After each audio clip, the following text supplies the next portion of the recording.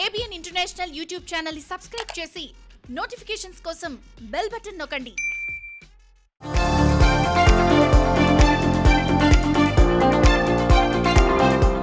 అగ్రరాజ్యం అమెరికా అధ్యక్షుడు Donald Trump సంచలన వ్యాఖ్యలు చేశారు. మరో దేశాధ్యక్షుడిని చంపించాలని అనుకున్నట్లు వెల్లడించి బాంబు పేల్చారు.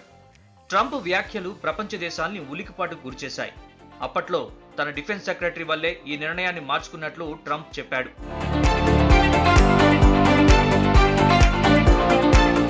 ట్రంప్. వివాదాస్పద వ్యాఖ్యలు ట్వీట్లతో ఎక్కువగా వార్తల్లో నిలిచే ఈ అగ్రరాజ్యాధినేత తాజా కామెంట్స్ ప్రపంచాన్ని వణికించాయి.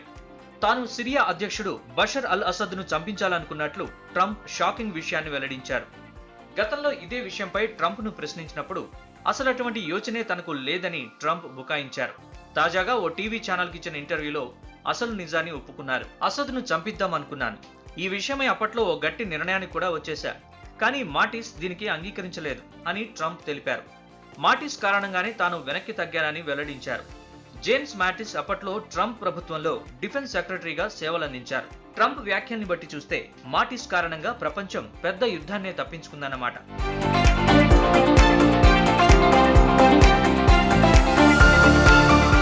నా దృష్టిలో మాటిస్ ఓ దారుణమైన సైనిక జనరల్.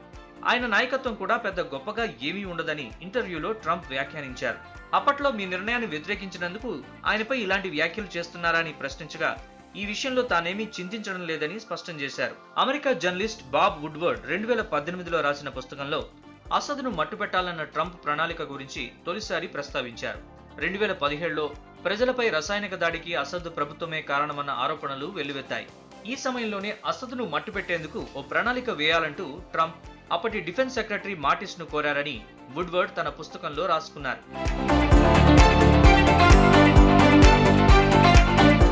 ట్రంప్ డిమాండ్లను మాటిస్ వ్యతిరేకించడంతో అసద్ను చంపించాలనుకున్న ప్లాన్కు ఆదిలోనే ఫుల్ స్టాప్ పడిందని వుడ్వర్డ్స్ రాసుకొచ్చారు. ఈ విషయాన్ని ఇప్పటివరకు ఖండిస్తూ వచ్చిన ట్రంప్ ఇప్పుడు తొలిసారిగా ఆ ఆరోపణలు వాస్తవమేనని అంగీకరించారు. తాను అసద్ను చంపించాలని అనుకున్నానని మాటిస్ వల్లే తన నిర్ణయం అమలు కాలేదని చెప్పుకొచ్చారు.